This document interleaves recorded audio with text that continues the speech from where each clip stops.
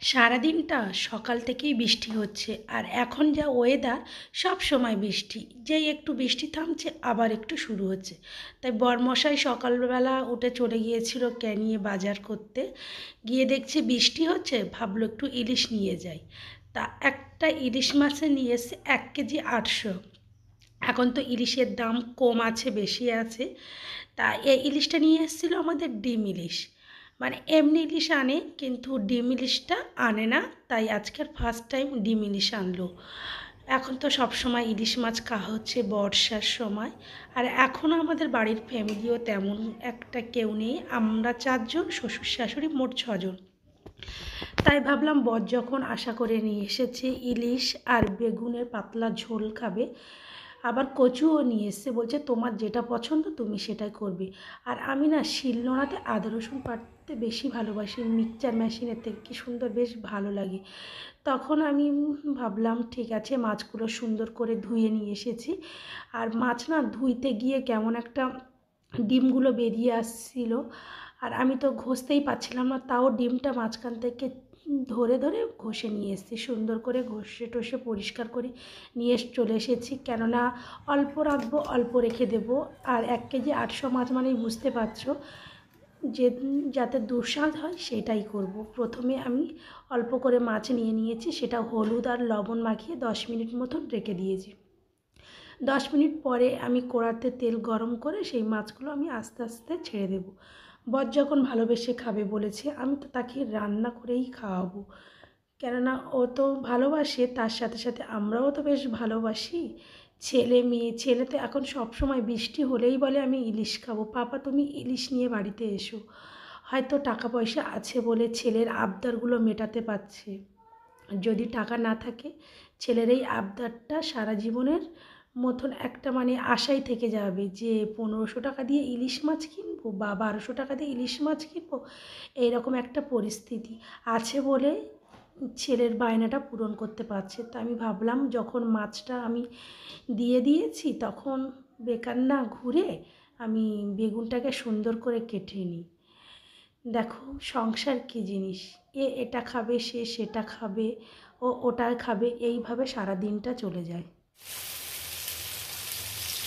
তারপরে দেখো মাছের ছো আওয়াজ, বেশ ভালো লাগে। আমার এই মাছের আওয়াজটাও শুনতে বেশ ভালো লাগে, যেন মনে মনে হয় বৃষ্টি পড়ছে। আর মাছটা খুব সুন্দর ভাজাও হয়েছে। একটু লাল লাল করে আমি ভাবি লাল লাল হলে বেশ ভালো লাগে, বেগুন আর ইলিশ দিয়ে রান্না করলে। তাই সব মাছগুলো এইভাবেই ভেজে নেব।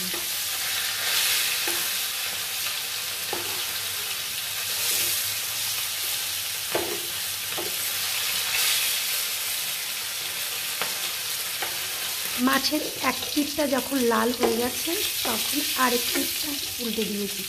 দেওয়ার পরে সমানভাবে যে লাল হয়েছে এপিট ওপিট আমি তারপরে মাছগুলো তুলে নেব। আর মাছের ডিম ভরা যে মাছটা, দেখতে কি সুন্দর লাগছে মানে পুরোটাই তো ডিম। আর এই ইলিশ মাছগুলো মাছওয়ালারা কেটে দেয়, এই মাছখানকে এইভাবে কেন কাটে আমি বুঝতে পারি ওরা কি প্রত্যেক তা ক্ষতিতে এইভাবে মাছগুলো খেতে ওরা বিক্রি করে, ব্যাপারই না দেখো, মাছটা আমি কাটা, আমি বুঝতে পারি না কেন ওরা ওইভাবেই কাটে। কী কারণে আমি সেটাই বলতে পারব না।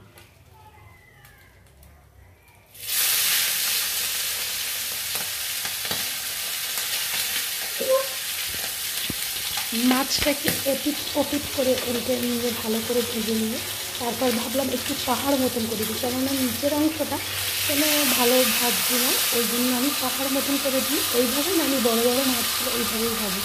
কেন নিচের দিকটা মাছের দিকটা মনে হবে যেন আমার কাঁচা কাঁচা আছে, এটাই মনে হয় তার জন্য আমি সবসময় মাছ এইভাবেই ভাজ করে নিই। তারপরে আমি একটু কড়াতে তেল দিয়েছি দিয়ে যে বেগুনগুলো কেটে রেখেছিলাম একটু লবণ দিয়ে আমি বেগুনটাকে সুন্দর করে ভালো করে ভেজে নেব। আমার মনে হয় না বেগুনটা এভাবে একটু ভেজে নিলে বেগুনের টেস্টটা না সুন্দর লাগে।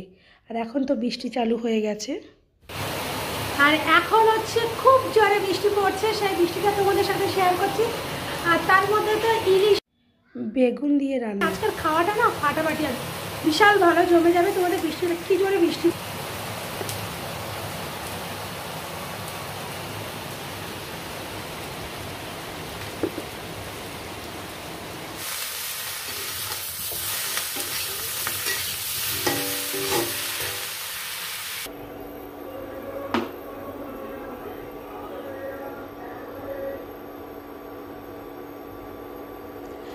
তারপরে আমি ইন্ডাকশানটা চালু করলাম। তার উপরে একটা কড়াই দিলাম, তেল দিলাম। তারপরে পেঁয়াজ দিলাম, দিয়ে একটু ভালো করে নাড়াচাড়া করে নিতে হবে যাতে পেঁয়াজটা একটু লাল লাল হয়। আমি কাঁচা পেঁয়াজে কোনো তরকারি করি না মানে হচ্ছে পেঁয়াজটা লাল লাল দিয়ে বেশ ভালো লাগে। তারপর আলুটা দিয়ে ভালো করে ভেজে নেব, কেননা আলু যদি কাঁচা হয় যেন কেমন লাগে? আলুটা একটু তেলের ওপর ভালো করে ভেজে ভেজে নিয়ে জিরে, সর্ষে বাটা, হলুদ, লঙ্কার গুঁড়ো মানে যেটা দেওয়ার নিয়ম সেইভাবে অল্প অল্প করে দিয়ে নেব। নেওয়ার পরে আমি সুন্দর করে এটা নেড়ে চেড়ে দেবো। কেননা তলাটা তো ধরে যাওয়ার ভয় থাকে, যেই ঝালুক হয়ে যায় অমনি তলা ধরে নেয়। তাই আমি তারপরে তাকে নাড়াচাড়া করে পরে সুন্দর করে নেড়ে চেড়ে নিয়ে একটু জল দিয়ে দিয়েছি জল দেওয়ার পরে আমি ঢাকনা দিয়ে দেবো। আর না, আমার হাঁসগুলো বাড়িতে চলে এসেছে, খুব প্যাক প্যাক করে ডাকছে। তাই ভাবলাম চলে আসি, এসে দেখছি দেখো আমার পোটেটার অবস্থা, কিন্তু আমি ঘর বাড়িটা তো রান্না করার আগে মুছে মাছে পরিষ্কার করে নিয়েছি, এখন হাঁসগুলো চলে এসেছে। আর ছেলেমেয়েগুলো কি করছে দেখা যাক, ওরা এসে দেখছি দেখো অবস্থা, দেখো ওদের। সারাক্ষণ একটা ফোন নিয়ে শফিক আর শফিক কী যে দেখে।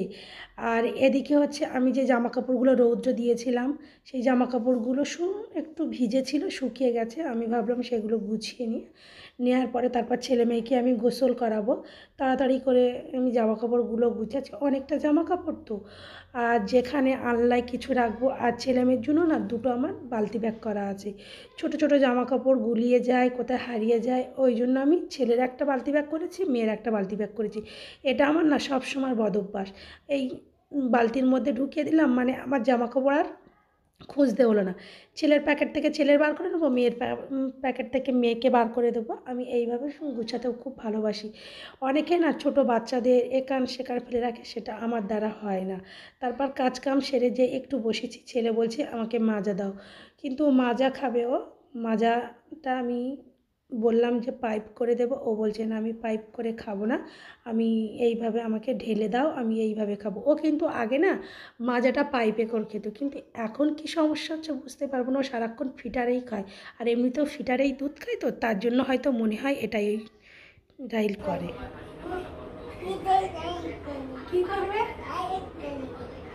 লাইক করবে? আমার রাইল বলছে এই চ্যানেলটাকে সবাই লাইক করবে তাই তো? তুমি বলে দাও। আর কি করবে?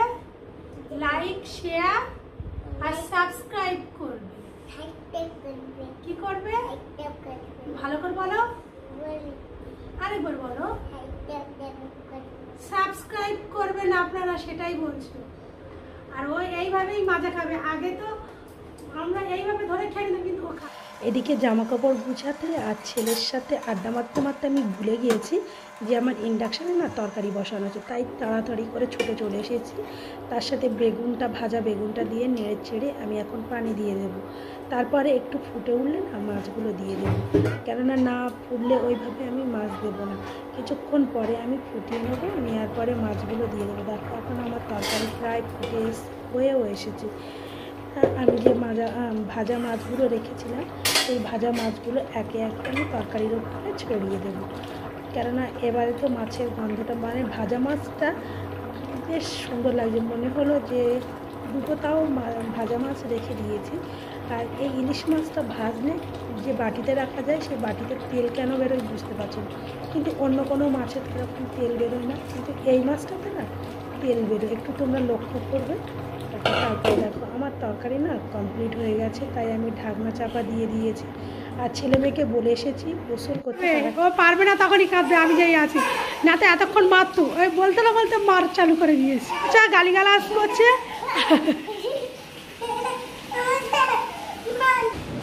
কার কার বাড়িতে এরকম আছে? দুটো করে বাচ্চা মারামারি করে আমার বাড়িতে দুটো আছে। সারাদিন মারামারি করে দুষ্টুমি করে এই নিয়ে আমার সারাদিনটা কেটে যায়। চলো ওদের গোসল করিয়ে দিয়ে তারপর ভাত খাওয়াবো। তো আমিও নিজে গোসল করে নিই তারপর তোমাদের সাথে সব কিছু কী হচ্ছে না হচ্ছে সব কিছু শেয়ার করব। দেখতে থাকো পুরোটা, পুরোপুরি ভিডিওটা অবশ্যই ভালো লাগবে। যখন না মাছের ঢাকনাটা খুলেছি, তখন মনে হচ্ছে আমি একটা কিছু যেন মাছের ওপরে দেয়া হয়নি। তাই মনে করলাম, কি দেয়া হয়নি ও জিরে মরিচ গুঁড়োটা দেওয়া হয়নি। তাই একটু জিরে মরিচ গুঁড়ো ছড়িয়ে নিলাম সুন্দর করে, তারপর তো মাছের টেস্টটা না আরও সুন্দর লাগবে। অবস্থাটা দেখো সারাক্ষণও কাজে। ওর ফোনটা কেড়ে নিয়েছি, ভাত খাওয়ার সময় ওই জন্য আর সারবিনকে আমি খেতে দিয়েছি। সারবিনের পাতে হচ্ছে ইলিশ, বেগুনের লাল ঝোল আর রাইলের পাতে এখনও কিছু দেয়া হয়নি। তাই এবারে আমি রাইলে পেটি দেব, ডিম আছে এর মধ্যে, আর আলু দেব আর একটু লাল ঝোল দেব রাইলের জন্য। খেয়ে দেখা যাক কেমন লাগে। আগে রাইলের পাতে আমি একটু টেস্ট করে দেখি কেমন লাগে। দেখি রাইলের পাত থেকে প্রথমে আমি একটু খেয়ে দেখি, কেননা রান্নাটা করেছি সারাক্ষণ কেমন লাগে দেখি। হেবি রাইলের ভাত আমি খেয়ে নিচ্ছি তো। একটু মাছ নিয়ে কেমন লাগে। খুব সুন্দর হয়েছে। তোমরা যদি এইভাবে আমার এই রেসিপিটা করতে চাও, অবশ্যই বাড়িতে একবার ট্রাই করে দেখবে। সুন্দর হয়েছে, কি বলব? আর তার উপরে তো বৃষ্টি হচ্ছে মানে বুঝতে পারছ, ইলিশ মাছ, বেগুনের লাল ঝোল। কার না ভালো লাগে আর ছেলের অবস্থা? সে কেঁদেই যাচ্ছে। আজকের ভিডিওটা এখন ছেলে, মেয়ে, বর, শ্বশুর, শাশুড়ি সবাইকে খাইয়ে দিয়েছি। দেওয়ার পরে আমি থালা টালাগুলো মেজে গুছিয়ে রেখে তারপরে না আমি খেতে বসেছি। আর এখন আমি মাছের মাথাটা নিয়ে বসেছি তোমরা ভাবছ শ্বশুর শাশুড়িকে মাছ দেওনি বা বরকে কেন দেওনি? তুমি খাচ্ছ। কিন্তু আজকে না সবাই আমাকে ভালোবেসে বলল, তুমিই খাও। প্রত্যেকে প্রত্যেক দিন একে একে করে মাছের মাথা দেওয়া হয়। আজকের বলল, তুমি খাও, আমরা তো প্রত্যেক দিনই খাচ্ছি। তা বললাম সবার অনুরোধে আমি আজকের মাথের মাছের মাথাটা নিয়ে বসে পড়েছি। আর মাছের মাথাটা ছিল বেশ বড় আর প্রচুর কাঁটা। তোমরা না এইভাবে কেউ খেতে যাবে না, কিন্তু অবশ্যই কাঁটা ফুটে যেতে পারে। এই করে আমার একবার কাঁটাও ফুটে গিয়েছিল। আমি ভয় একটু ছাড়িয়ে ছাড়িয়ে না খেলেও গোলায় বেঁধে যাওয়ার ভয় থাকে? কি কি? ছেলে একটা ব্যাগ নিয়ে এসেছে, বলছে, আমার এটা পিঠে বাঁধিয়ে দাও। দিচ্ছি দিচ্ছি, না। তা তোমরা অবশ্যই এরকম বর্ষার দিনে একটু তেল ঝোল ইলিশ করে খেয়ে দেখো খুব ভালো লাগবে। আর কিছুটা মাছ এখনও রয়েছে সেগুলো ভাবছি ভাপা ইলিশ করব। অবশ্য কালকে সেটা করে তোমাদের সাথে সেই রেসিপিটা শেয়ার করব।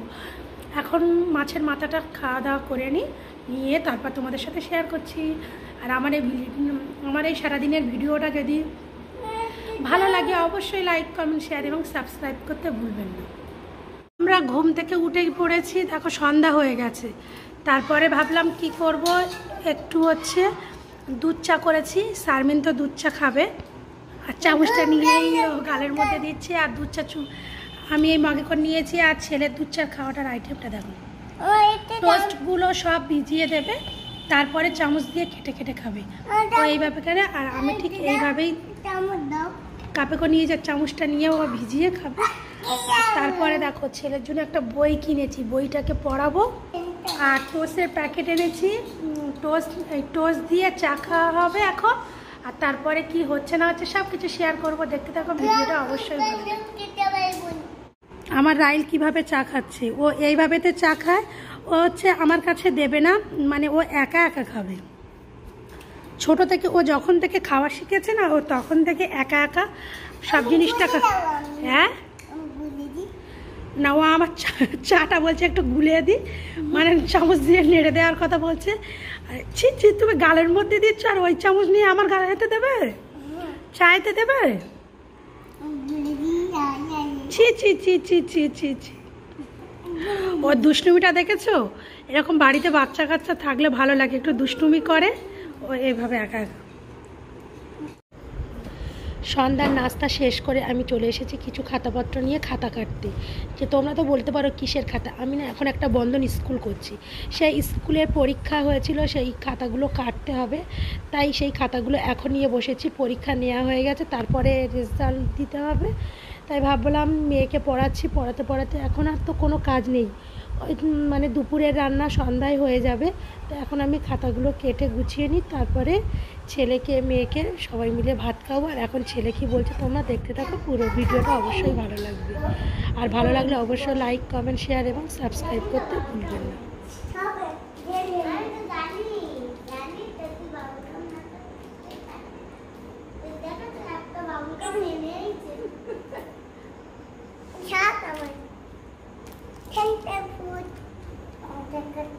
Geli.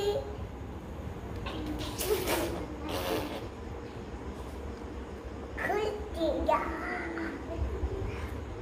খুলে খুলে দেখো একটাই হাফ খুলে দে ওই রাইট কি নিয়ে এসেছে এতক্ষণ কি দেখাচ্ছিলে তুমি?